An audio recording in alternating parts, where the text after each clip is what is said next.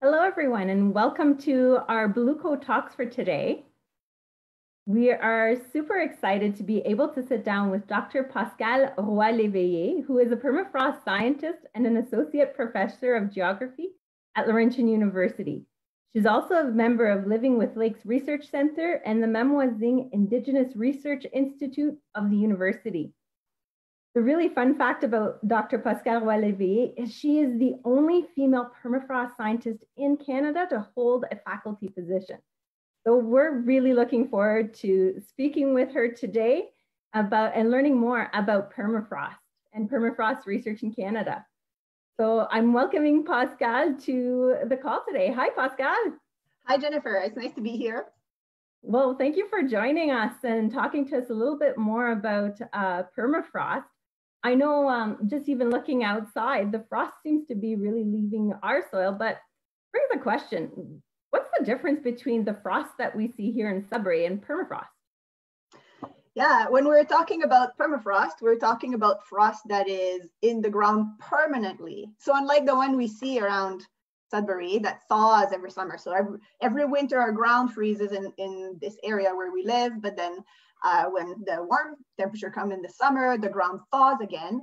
You know, in areas where there is permafrost, the surface of the ground is going to thaw during the summer, but it's not warm enough during the summer to compensate for how cold it was in the winter. So the top of the ground thaws, but there's some frozen ground that remains beneath, and that's what we call the permafrost. It's the part that's gonna stay frozen all year round. Strictly speaking, it has to stay frozen for at least two years.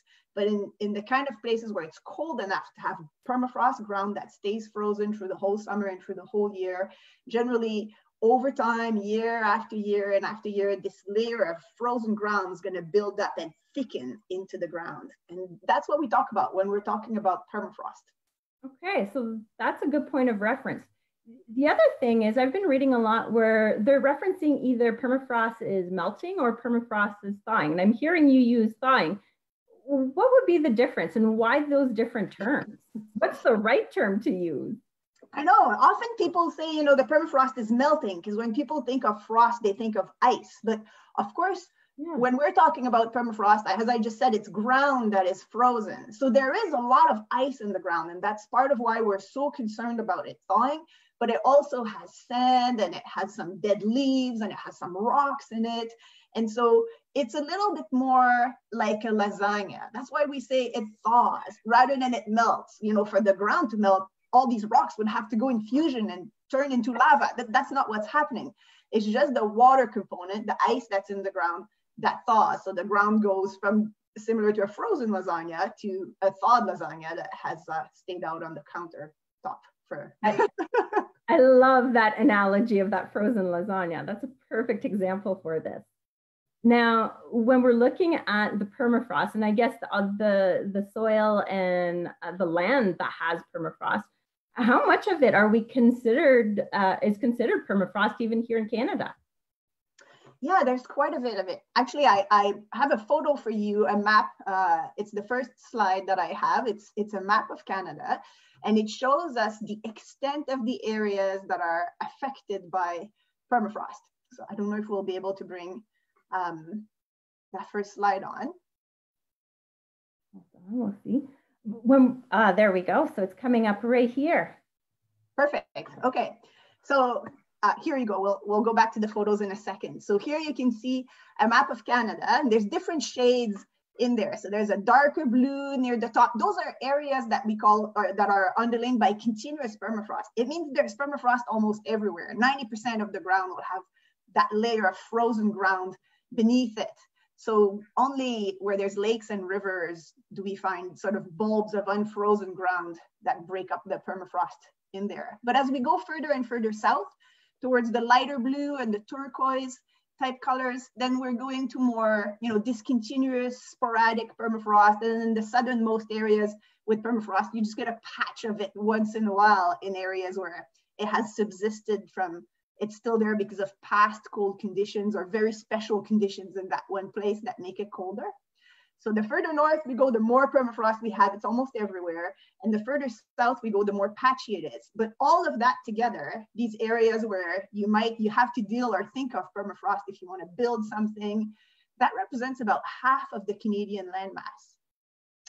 And you know, you know, while I'm on that topic, people sometimes think that nobody lives there, but there's a lot of people who live there actually. So we have cities in the permafrost zones of Canada that have tens of thousands of people in them, like Whitehorse and Yellowknife, and lots of people also in Inuvik and Iqaluit, thousands of people. So there's there's a number of cities, about a hundred, like over a hundred thousand people living in large cities and also in smaller communities but there's also industries operating up north and a lot of indigenous people who travel these territories, even where there's no roads and no infrastructure for hunting, for gathering berries, for just traditional activities.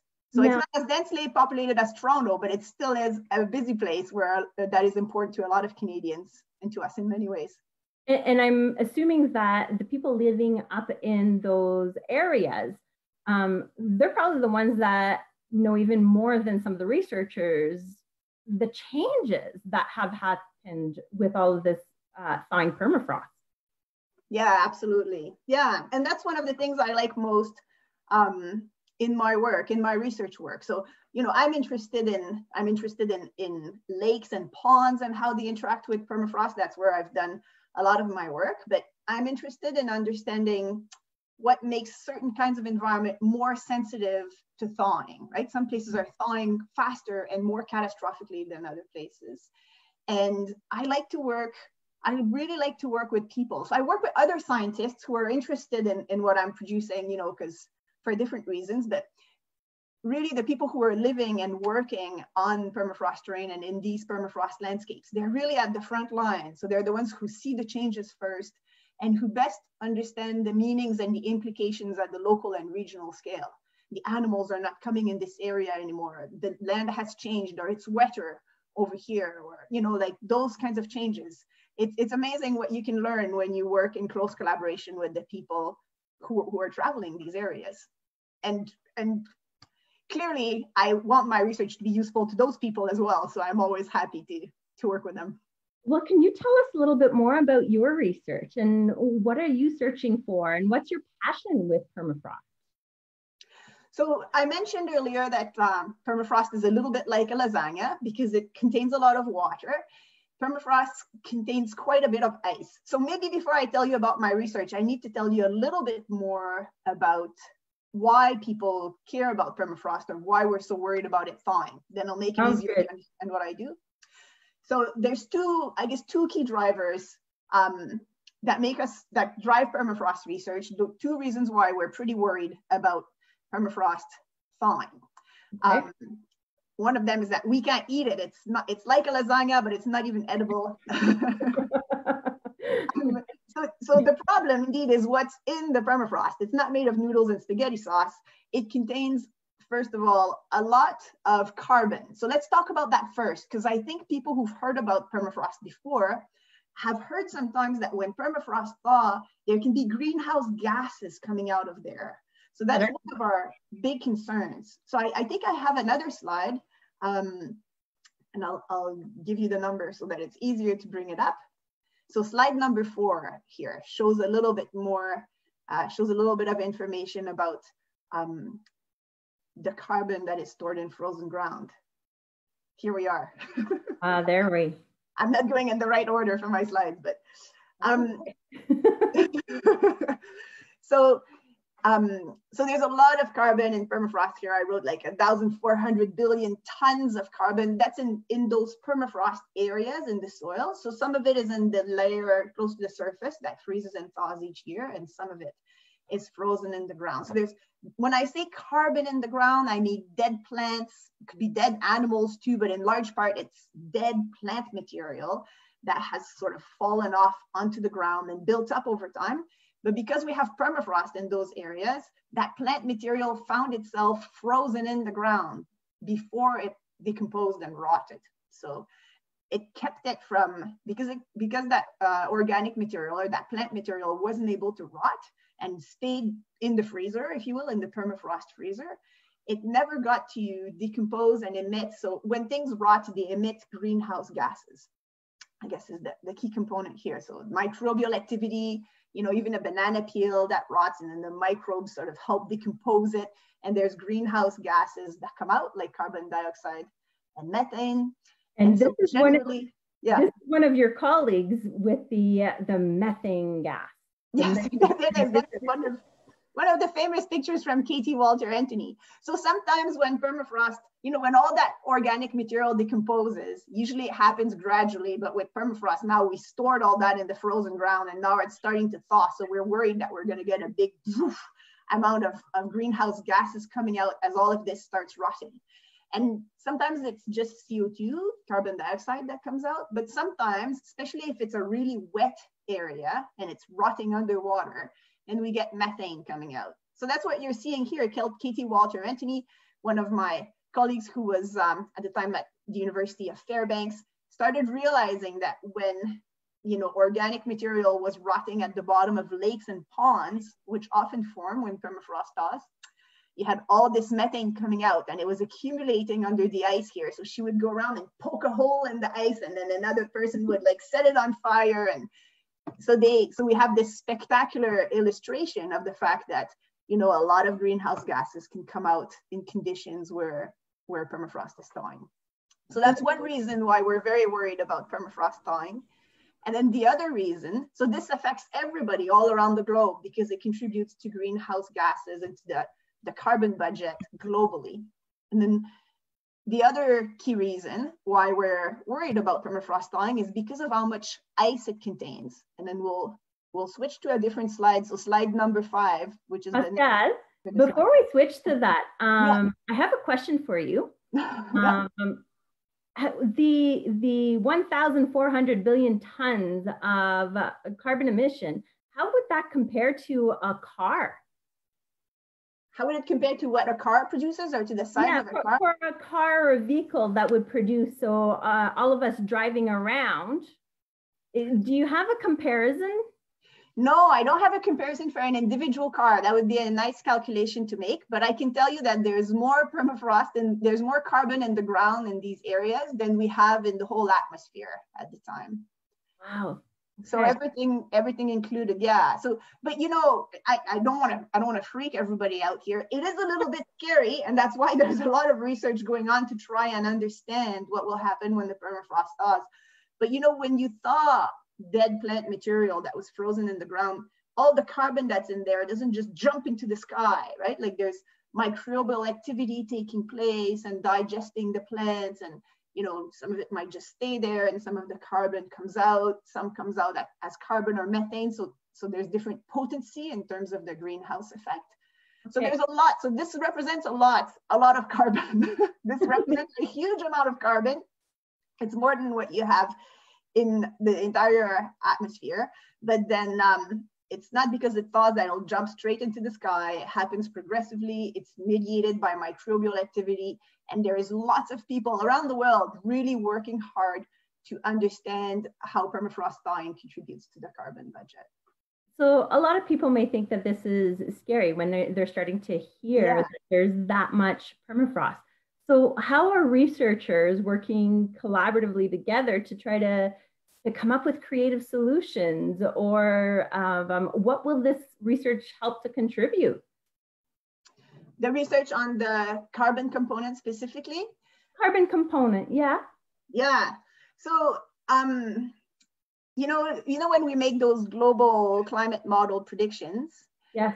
At the moment, we're not really able to integrate in those predictions the whole feedbacks, like the carbon that might come out of permafrost when it's thawing. Those models are so complex and they have so much to deal with in terms of plant up uptakes and interactions with the oceans and, and everything. And we haven't made it to a point where we're able to represent subsurface processes in those climate models, like the, the upper layers of the ground and what's happening there and what's thawing there and what's coming out. So we're still, you know, we've made some progress in recent years because everybody's trying to, a lot of people are trying to contribute to better understand like what's happening to this carbon. Does it come out when it's thawing? And then how can we represent that in um, in the global climate model so that when we make predictions and we say okay we should limit global warming to about one or two celsius degrees we've also taken that into account.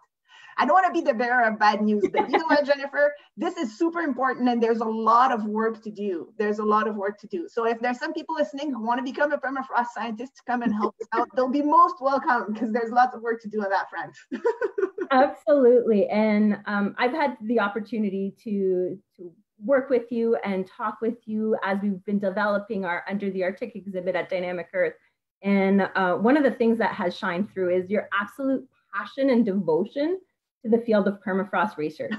um, it has been an incredible pleasure to be able to learn more from you about this. And one of the big pieces that I've been able to take away from that is the collaboration between the various researchers, the various institute. Everybody is committed um, to working together some of the stories that you've told me about um, working with engineers and infrastructure people, as well as the community members, have just resonated so strongly uh, with me. So, yeah, yeah.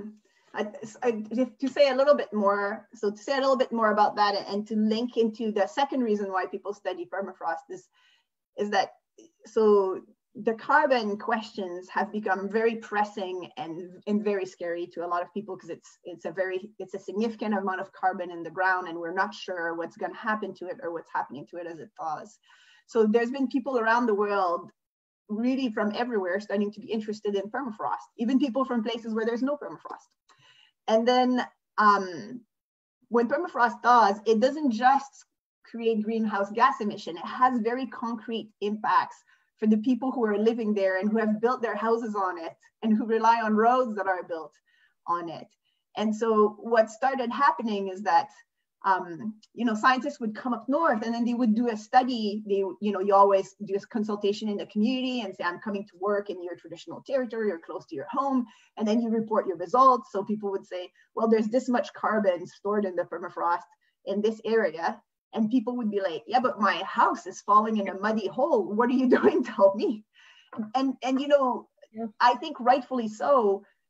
You know particularly i've heard this from canadians who who live in in permafrost areas but they would say you know all of those big questions are important but us as canadians we're living on permafrost and we need to adapt to these changes and we need to prepare for these changes. What's the research community doing for us and it became, it really came to the forefront, I think, of the Canadian research agenda recently.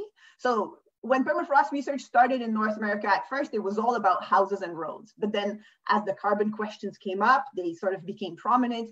And in the last couple of years, we got funding from the federal government, $5.5 million just very recently, so that we all come together and put our efforts together to help people who live on permafrost sort of prepare with the consequences of permafrost thawing under their roads and under their houses and in their backyards. So, uh, and this is, to be honest, this is where maybe the larger part of my work is, is on, in understanding how permafrost thawing changes the terrain, changes the surface of the ground. Can I go back? Can I show you this slide with the ice in the Absolutely. In the and for those that are just joining us right now, we're having the opportunity to speak with Dr. Pascale Roy Léveillée, a permafrost researcher, and she's telling a us a little bit more about the importance of why we need to pay attention to thawing permafrost and the researchers that are out there doing that. So this is your slide that you would like to talk about. Yes, I, I wanted to. So I just explained that there's two key reasons why people, two key drivers of permafrost research. And the first one has to do mostly with carbon and how much carbon is in the ground. There's other issues tied to that, like contaminants sometimes that are attached to the carbon and, and come out. And then this here is another key aspects of permafrost research is because in our frozen ground in permafrost, we have a lot of ice. There's ice stored in there, and there's often more ice trapped or stored in the permafrost than what the soil will be able to absorb as a sponge once it has thawed. So we have excess amounts of water stored in the form of ice. Sometimes it's little ice lenses like this, but sometimes it's bigger amounts of ice, like big wedges of ice in the ground, pure ice, layers of pure ice sometimes. But even where it's mostly soil, as you can see on the very left here, there's a core of permafrost that we extracted with, with a drill. And you can see that there's little bits of mud and in between the darker areas, that's like layers of ice that are in the ground.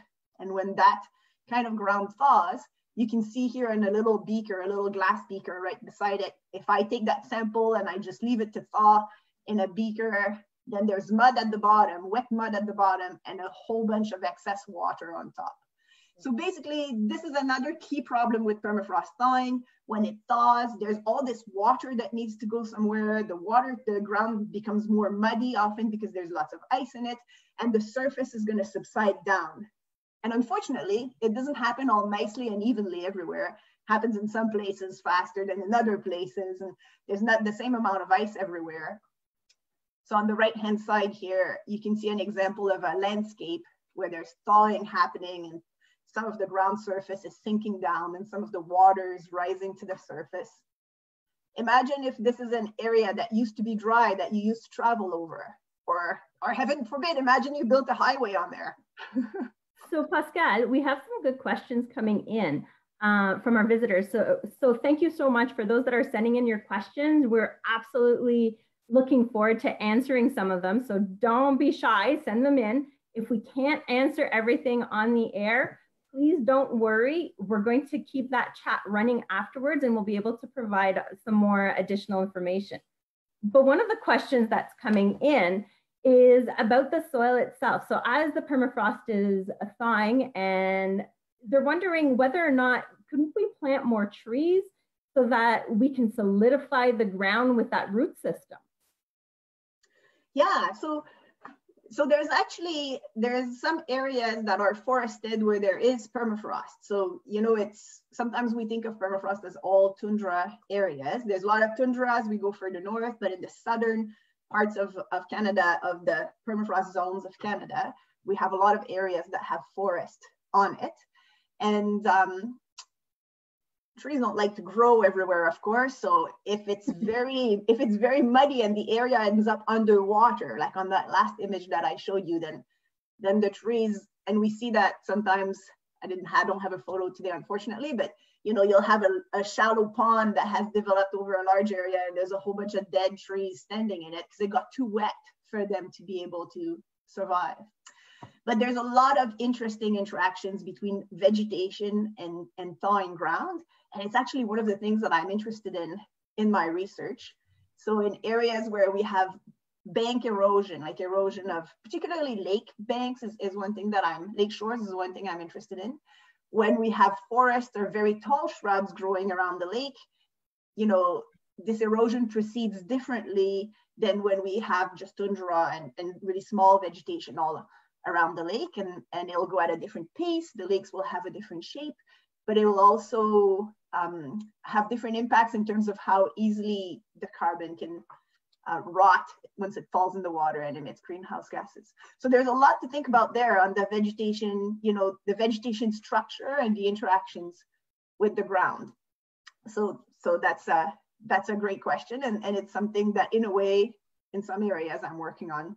We are seeing more and more tall shrubs grow into the tundra and the vegetation changing as the top of permafrost thaws and that layer that thaws every summer becomes deeper. So taller plants can grow because there's more room to put roots. So their vegetation structure is changing in the north with all kinds of impacts coming with it. Yeah. So I know you had mentioned earlier about working with the communities to to help them with some of the the infrastructure issues that they're they're they're experiencing. So road being collapsing or the the house slumping. But if you're thinking about new projects or new development in uh, those communities right now, are you taking some, or are researchers taking some of that knowledge and trying to preempt what could possibly happen? So some innovative technology. Yeah, for sure. Um, so if we want to go back to the slide decks, I can show you a couple pictures to, to illustrate this as we as we talk about it. So slide number six it's showing uh, some images of the kinds of impacts that permafrost degradation can have on infrastructure. So we talked about the ground losing volume or some areas becoming muddy. So, you know, you can see here a, a house that has sunk into the ground. And here part of a road that has collapsed because of ice, a chunk of ice that was beneath the road that got eroded, probably partly due to water starting to run through the area under the road. And the bottom left photo shows a, a house that's a little bit like a snake over the landscape because some parts of it are settled and some parts are still up. And so in order to prevent those kinds of, of problems from happening, the people who build up north already have all kinds of strategies in place. So one of the first things that needs to happen is better understanding the conditions in an area through careful mapping of what kind of ground is underneath and how much ice there is. So I guess if we go to slide number seven quickly, then you can see, which is the next slide, then you can see those are photos of me working in the field. So you, can see me drilling to extract some pieces of permafrost from the ground so that we can see how much ice is underneath in this area. So what's gonna happen if it starts to thaw? And then I work with some of my colleagues, particularly from Yukon College, and use geophysics that allow us to see literally or to send wave or use electricity, different methods to see into the ground what's beneath the surface and then to start mapping, creating a map of an area that show us which are areas that are good to build on and which are areas that may be quite problematic when building on them. And then I think I have another slide, slide number nine. So slide number nine shows you some examples of technologies that are used in different places. Often when houses are built in areas that have permafrost, they're lifted up either on stilts, like you can see on the bottom right-hand side, that's in, in Svalbard and Spitsbergen. In Canada, in northern communities, often we find our houses up on, on just stacks of blocks or, or sometimes sort of the, a metal space frame that just elevates the house above the ground so that the air can stay still blow under the ground under the house and keep the ground cold. Because if you put a house on top of the ground and you heat it, of course, you're like you can blame climate change all you want if you just turn the house, you know, the heat up and you're right above the ground. It's so we have to be careful with how buildings are built. And sometimes, you know, you can see just um, in the top right image, there's a big white building and there's a series of big pipes here that are used for just letting the wind blow underneath the building. So they extend under the building and come out on the other side. So this building is not elevated above the ground surface, but the wind can blow underneath it via a bunch of pipes in the winter. You know, the cold air, the cold air that's around the area tends to sink to the bottom anyways, and the warmer air tends to rise up. So you can use that principle to cool the ground beneath structures. This is so amazing. The now, top photo is from Denmark. That's from Denmark, okay. So again, the impacts are Sorry, it's from, the world. It's it's from Greenland. Sorry, it's a it's an engineer from Denmark Denmark who sent it to me, but it's it's actually okay. from Greenland. So from the top image from Greenland, but it's that proof of all the researchers working together for that common goal. Um, Pascale, we have a question coming in from, and, and I will apologize right now if I pronounce anybody's name wrong. I'm very sorry about that. Um, but I believe this one's coming in from Satu, age seven.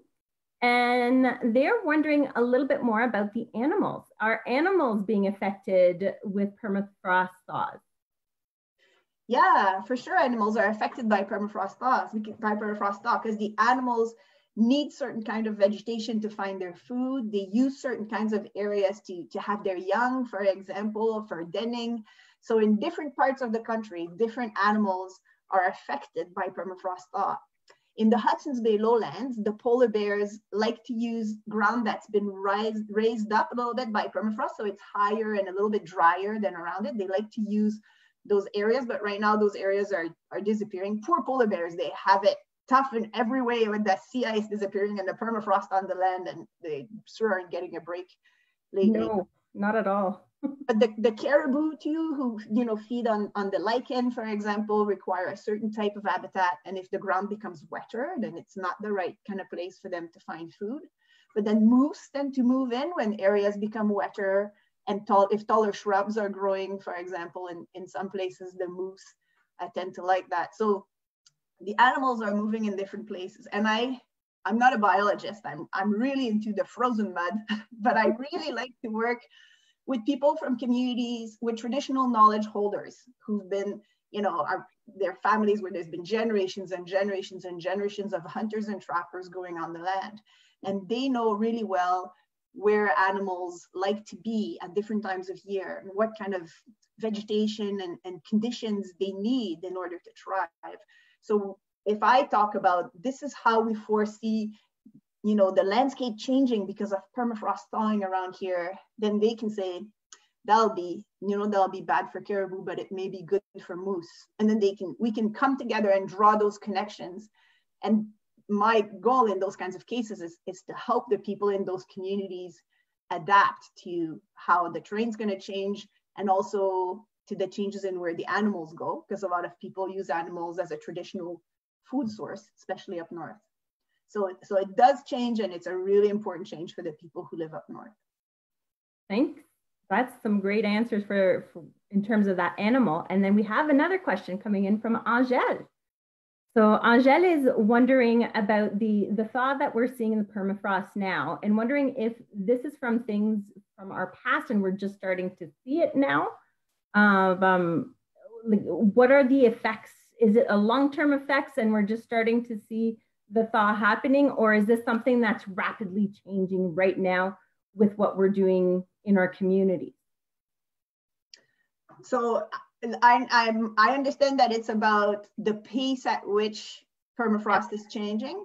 The, the pace at which. So permafrost thaws in different ways. Often when we talk about permafrost thawing, we just imagine, you know, it just thaws, it's just thawing. But in fact, it's a little more complicated than that.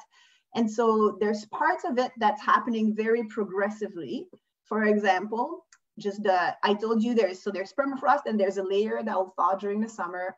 So as things get warmer every summer, it thaws a little bit deeper. So some, in some parts of the country, in particular, the permafrost developed when conditions were cooler. And I'm thinking like back thousands of years towards the end of the last glaciation. And the climate has been progressively warming since then. So in a lot of the country, uh, permafrost is sort of a heritage from the past. How much ice is in it, how thick it is, that accumulated over years and years and thousands of years. So you can't just look at the temperature today and guess what permafrost is like in an area. You have to look at what things were like in the past. And it's constantly adapting to current conditions. So when it's thawing, you know, there's a, often there's peat, organic, like plant, dead plants and moss on the surface that kind of insulates the ground a little bit. So this progressive, you know, thawing of the top layer of permafrost a bit every summer happens maybe relatively slowly. Okay. Not uniformly year after year. Some years are warm, but then you'll get a couple cold years and then it'll be warm again. So, but then there's sometimes it happens really catastrophically. And we've seen a lot more of that happening right now. So for example, you have, you know, a mountain or a bunch of hills where there's permafrost. And because we're getting some very warm summer, suddenly the ground thaws all the way to a really icy layer there. And everything that has thawed on top will just slide down the mountain. And then that layer is gone. So what was underneath is going to start thawing. So you get some of those processes that will self-reinforce their positive feedbacks, if you will.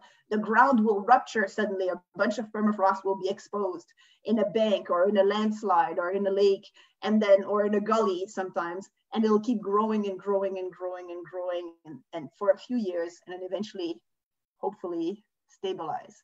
So those processes, we call them thermal thermokarst processes. They're happening quite catastrophically, and it's difficult to recover, if you will. So you know, just having one summer that has really warm and wet conditions can start a bunch of those features all over the place. And so with warming climate more recently, we have really seen an increase in the amount of those catastrophic, if you will, or really rapid degradation features starting, even in parts of the country that are very cold, like on Banks Island, they found a lot of like landslides happening because the conditions were right for a couple summers. And now you have all this frozen ground that used to be nicely insulated under the moss exposed to the air for the summer, right? And is there anything that we can do to help with some of the thawing or any habits that we can get into or change that can do some type of a an impact? It's a difficult question that one. Eh? People often are like, what can we do? And and uh, like you know, controlling our our contributions to greenhouse warming, of course, is is uh, probably the most important thing to do. A lot of research is geared towards understanding what's happening and helping us prepare for it. And then we have some engineering solutions that are small scale engineering solutions for specific roads and buildings and infrastructure. There is a paper that came out recently, however, so th there's a paper that came out recently that says that when we have large grazers in an area, then they can help to protect the permafrost because they'll chew on the vegetation and they can stop the shrubs for coming, from coming in, for example. And when the tall shrubs come in, they tend to trap a thick layer of snow on the ground. Whereas before in the tundra with just small plants, the snow was all getting blown off and the ground was exposed to the cold air and it would freeze really cold. So there's some research showing that the animals can actually help us, um, can, actually help us protect permafrost or may actually be able to help us protect permafrost. This is research that has just come out, right? So I don't know to what scale we would need this, but, but I think it's one more argument towards really supporting the protection of, of for example, the caribou calving ground and, and being really careful with our development up north to make sure we don't interfere with those animals, which may actually be holding part of the solution to our problem. Although nothing will compensate for, for the amount of greenhouse gas emissions that we're putting in the atmosphere right now. So that's an area where I think we can really, we can really help. The um, um, another question is coming in from Max, and he would like to know if there's uh, a lot of microbiologists that are involved in permafrost research. Yeah, for sure, absolutely, Max. There is. So um, I mentioned that one of the things. So my research has to do with the factors that uh, control how susceptible different areas are to thawing and what will happen when the ground thaws. Will it recover well or not? So my research is sort of fundamental permafrost research but I don't want to be lonely in the lab doing my fundamental work. I want to make sure people can use it. So I work with communities. I talked about that already. But I also work with hydrologists, with engineers, and with microbiologists, and with people who specialize in contaminants so that they can use the, the improved understanding of permafrost that I produce. How does permafrost thaw, when, uh, what facilitates or accelerates the thaw, will it recover after? And then they can apply it in their different fields. So I work a lot at Laurentian University with Dr. Nathan Basiliko, who's a microbiologist, and he's interested in, in the biogeochemical cycles. So he's interested specifically in seeing what kind of microbial communities develop and thrive in areas where permafrost is thawing in different ways. And what does that mean for that plant material, you know, rotting or being decomposed and the kind of greenhouse gas emissions it will lead to. So, so there's a number of microbiologists and, and I collaborate with some of them. It's been super interesting. Now, Pascale, would you have anything or any special message that you want to leave us with in regards to permafrost and permafrost research?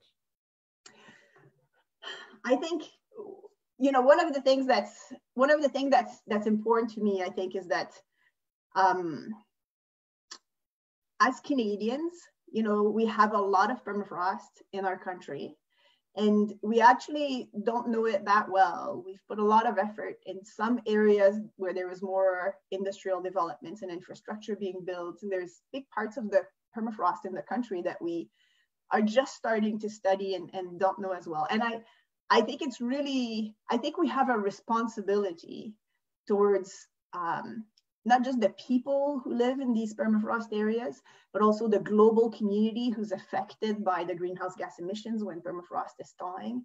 And I, I really think that Canada should be at the forefront of permafrost research. And so if there's people who are watching who are interested in permafrost research, you know, we have a small group of people who are doing permafrost work and right now, in the north of the country, a lot of people are facing the consequences of permafrost thaw for their communities.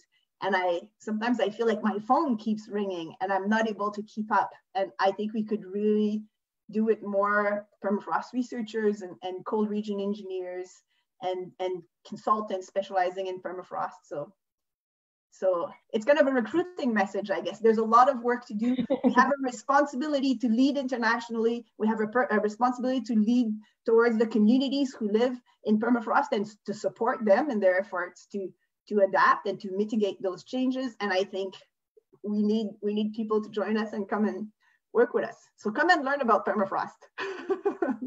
and being being a mother, so getting to know you a little bit more throughout uh, um, our journey together. Um, being a mother is something you are absolutely passionate about, and I can see the joy when you speak about both your children. Um, but what I was most struck with is that you are not scared to bring your little ones into the field with you to teach them about permafrost and the changes and you're a real ambassador with your children um, with this change yeah well you know i, I don't want to make it seem like um, i don't want to make it seem like it's easy i think it's it's definitely full of challenges i think there's one of the photos that is showing uh, me in the field with my youngest Florent. So it's slide number uh, seven. And so, you know, th there's not many women in, in so there's women in, women in permafrost science often are working as consultants or they're working for government or they're working in, in jobs where it's still a bit easier maybe to be accommodated when you have a family and to take maternity leave and so on in academia, we in universities, we don't have it completely figured out. So it's still a bit of a challenge um, for women and for mothers who want to do research in fields where there's a lot of field work to be done. And um, I feel quite fortunate because the permafrost community is has been tremendously supportive of, of me joining this field and developing my career in this field. So I feel very supported by my colleagues, a majority of, of male colleagues, and then you know i wanted to have children and and make all of this work together right? Which which is difficult. Um, but i found ways and and florent came to the field and with me twice. So you can see a photo here in the top right corner where he was one years old and and sort of looking at me installing temperature or helping me eh, install temperature sensors in the ground he's got the he's got my leatherman in his hands you you had him trained at a very young age to set, to set those temperature probes. I know. I want to make sure he gets it right. He came to the field with me when he was uh, he turned two months old in in the field actually also. So you know now that he's a little bit older, three years old, I'm actually not able to bring him with me because he it's become a little bit more difficult. But I think um, I think for women who want to go to academia and want to have a family, the path is not all traced already for us. We kind of have to do some bushwhacking and make our own trail, but there are ways to make it work. And, and I think it's worth it. And I think, I think people are in my field anyways, very supportive, which, which really helps. Yeah. Absolutely. Now we have another question that came in and I, I'm kind of chuckling to myself because you warned me on this one. Um, I got very excited when uh, I had mentioned to you that we're getting a, a real sample of permafrost sent to us. And your first comment to me is like, ooh, you might want to make sure you have a really good container. And I'm going, oh, it doesn't smell so bad. Until I actually got the real sample of permafrost. Oh boy. How do you deal with that smell? Oh, that's funny. um, so you know permafrost is different in different places it can be sometimes just hard rock that's frozen and then when it thaws it's the same it's now hard rock that's above zero celsius degrees you know and then nothing's happened and you know we don't study hard rock as much because we don't find it as interesting. Sometimes it's sand and sometimes it's silt but sometimes there's a lot of that organic material that has started rotting that got frozen in and now is gonna uh, rot some more and, and um, it can be quite smelly. But i find that it's i find that it's not too bad. It happens once in a while where i'm you know close in a thermokarst feature where there's that catastrophic sort of thawing happening really fast. And sometimes you're like whoa we can really smell it here today. But we're in the outdoors and and it's windy because often we're in the tundra so it's not so bad. One of the challenges when we're out in the field is is the mosquitoes. And i i my last slide slide number 10 has a, a photo of one of my colleagues louis philippe uh, when we were working in in oak flats in northern yukon. And so I would say that more than the oh my more, more than the smell of permafrost, what we have to worry about is the mosquitoes. I took that photo. I thought it was it was uh, it's funny too because usually we wear a bug jacket that uh, Louis Philippe is really tough, so he didn't feel like he needed one. but you know, there's, there's challenges with working in those remote areas, and the smell of permafrost is it comes once in a while, but it, I think it's not uh, it's not the biggest problem we have to deal with. Well, Pascale, for everything that you've shared with us today, your passion again has shone through with everything. Thank you for for talking with us and talking with all of our audiences. Everybody, thank you for joining in and listening to the messages that Dr. Pascale Roy had to share with us of, um, about permafrost, the thawing permafrost, and the importance of the research that is being done to learn more about the, the processes that are happening right now in our Canadian Arctic and across other areas of the world that have thawing permafrost. If you have any other questions that we were not able to address today, again, please send them in. It would be our pleasure to, to address those. And we do hope that everybody has a wonderful day. So thanks for tuning in to our Bluecoat Talks today. Thank you, Jennifer. have a wonderful day, everyone.